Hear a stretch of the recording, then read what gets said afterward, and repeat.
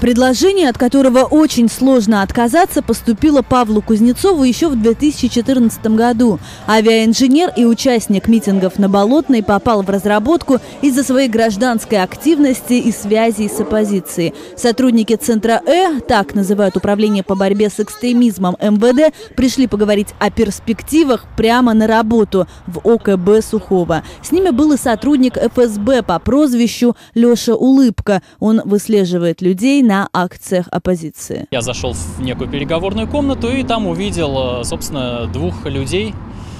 Э, ну, уже э, из сети я уже понимал, кто это такие. Вот. Э, так называемый Леша Улыбка, наверное, может, э, зрители слышали уже о таком легендарном э, человеке.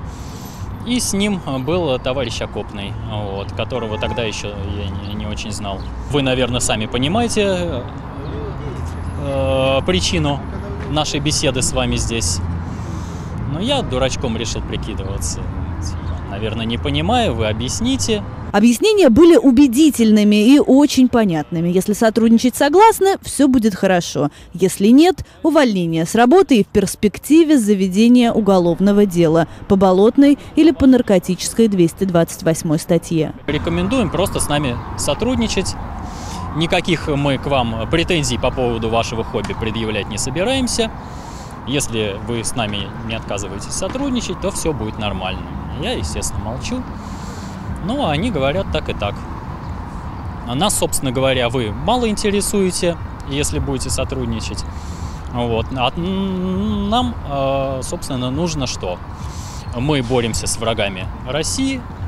Нам нужно, собственно говоря, чтобы вы э, именно помогали нам этих врагов собственно, разоблачать. Своих соратников по гражданским протестам Павел врагами Родины признавать отказался. Показания на известного организатора массовых протестных акций Надежду Митюшкину давать тоже не стал. Последствия этого выбора – просьба руководства компании написать заявление на увольнение по собственному желанию. Леша улыбку, улыбается этой своей улыбкой фирменной.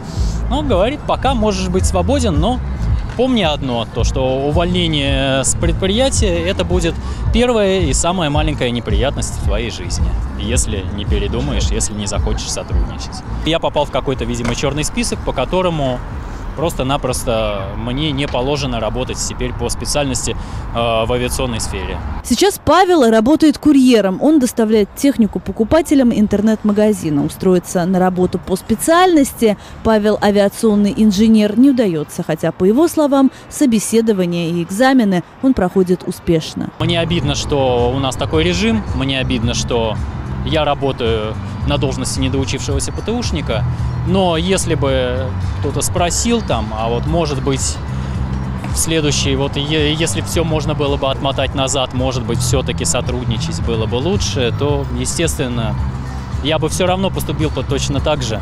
Вот.